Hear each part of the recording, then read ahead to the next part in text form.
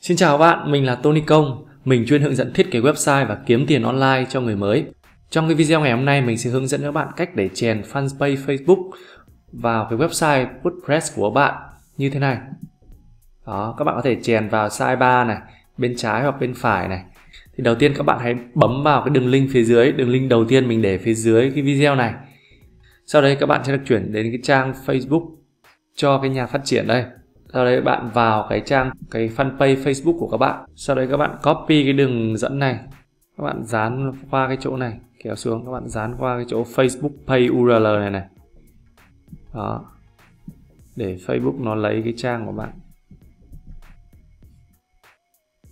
Đó, thì Facebook nó sẽ lấy được cái fanpage của bạn đây.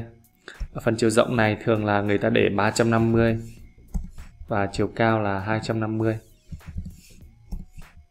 sau đây bạn bấm, có thể bấm chọn ở đây, use small header này. Đó là cái header phía trên này nó nhỏ lại này. Hoặc là hai ẩn cái ảnh bìa đi chẳng hạn này. Đó, nó chỉ xuất hiện cái này. Show friends face này là có nghĩa là hiển thị những cái um, người bạn đã thích cái trang của bạn. Rồi mình có thể để cái này. Use small header, mình không thích để small header.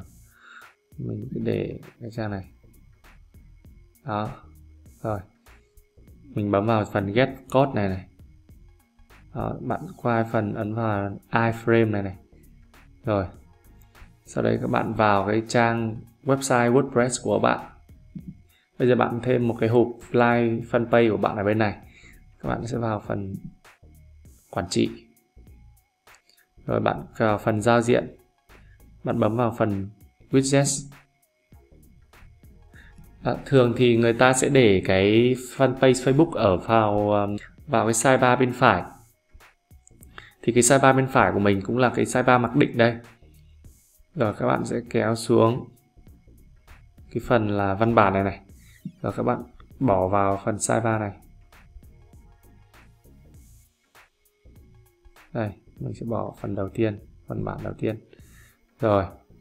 Sau đấy bạn bấm vào phần văn bản này này hủy này, bạn sang copy cái đoạn, cả cái đoạn code này. Ctrl C này. Rồi, bạn qua bạn dán vào đây. Rồi phần tiêu đề là các bạn ghi là like fanpage để nhận quà chẳng hạn. Rồi, mình ấn vào lưu thay đổi này. Ừ, ghi hoàn thành này. Rồi, mình sẽ quay trở lại để xem nhé